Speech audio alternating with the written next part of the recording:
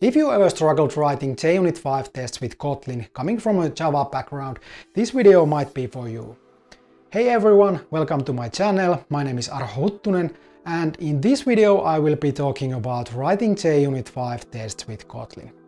There are some things in Kotlin that can make your life a little bit easier when writing those JUnit 5 tests.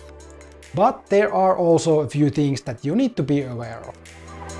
And I'm trying to keep this as short as possible, so let's get right into it.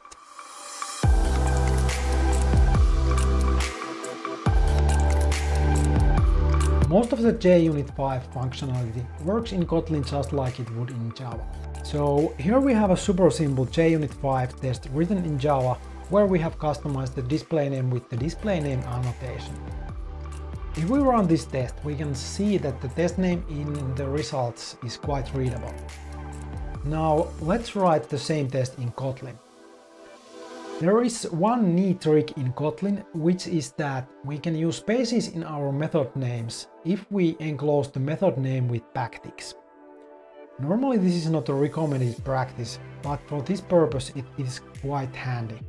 So if we run this test, we can see that it behaves just like before, but the code is less verbose.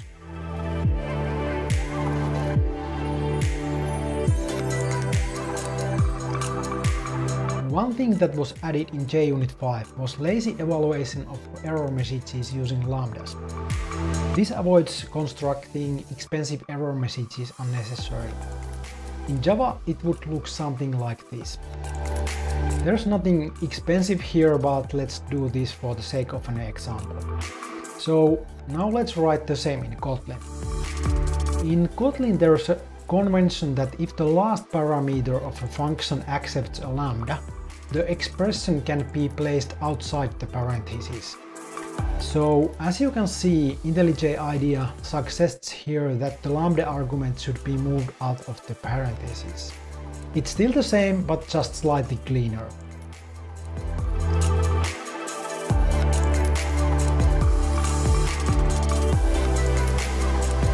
Any JUnit 5 assertions in Java work in Kotlin as well. Here is an example of asserting that an exception is thrown in Java. We pass the exception as a method parameter and pass a lambda inside the assert throws call. But for Kotlin, there are a couple of language-specific assertion methods that are more suitable for the language. Let's write a test with the same assertion again using Kotlin. In Kotlin, we can make this a little more readable, at least in my opinion. First, we pass the expected exception as a type argument, and then we provide the thing to be tested as a lambda. So, as you can see, it really becomes quite compact.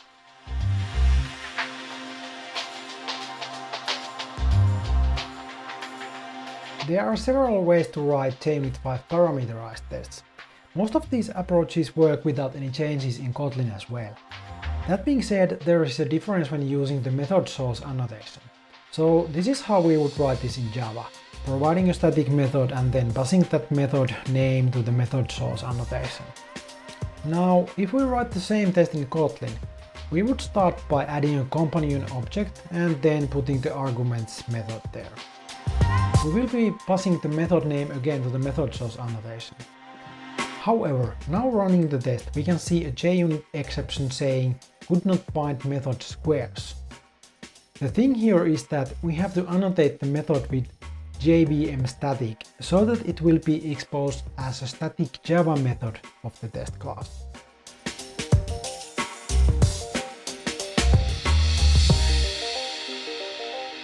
Using parameterized tests like this is okay, but not as convenient as in Java. JUnit 5 introduces a new programming model that allows us to generate dynamic tests at runtime by a factory method annotated by the test factory annotation. So first to get an idea what this might look like, let's write a test that defines a couple of dynamic tests. Each of these dynamic tests would appear as their own tests.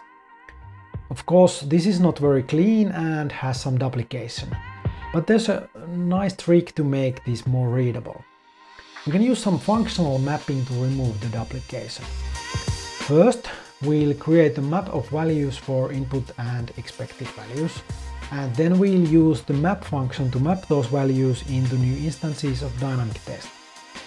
So what this does is it takes each of the value pairs and then creates a new dynamic test for each of them.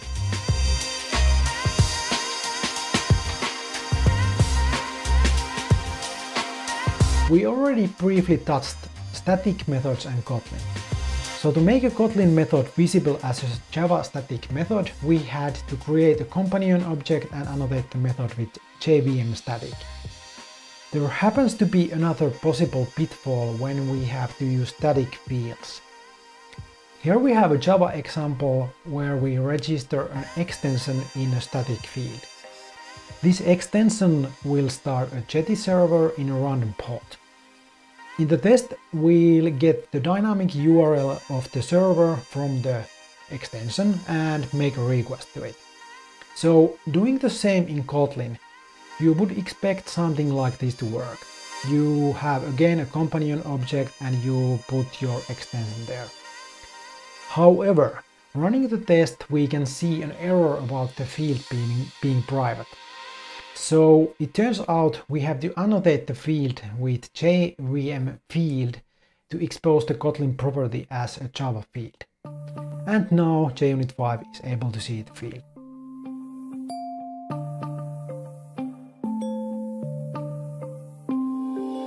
All the JUnit 5 lifecycle methods work in Kotlin as well.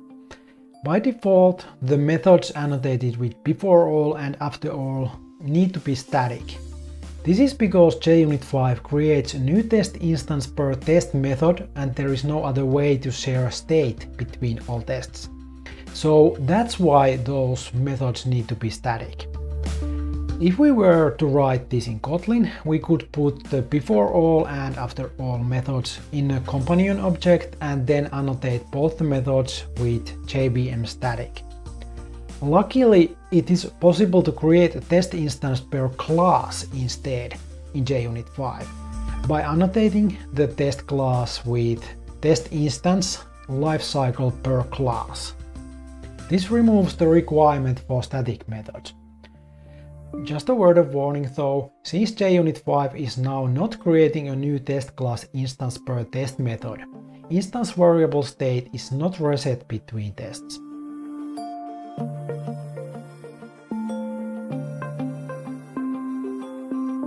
If we want to use multiple extensions in a test, it's quite easy in Java. All you have to do is to add multiple extend with annotations to the test class. If we do the same in Kotlin, we will find out that the compiler complains about repeatable annotations with non-source retention are not yet supported. To work around this limitation, there is an extensions annotation in JUnit 5 for Kotlin. The annotation will take instances of extend with as its arguments. This means that using multiple extensions is slightly more complex than in Java. But it's still not horribly bad and it's doable. So those were the things that I have personally encountered when using JUnit 5 with Kotlin. Please like the video if you found it useful and if you are new to the channel please consider subscribing as I will be making more videos like this in the future. Stay curious and see you in the next video.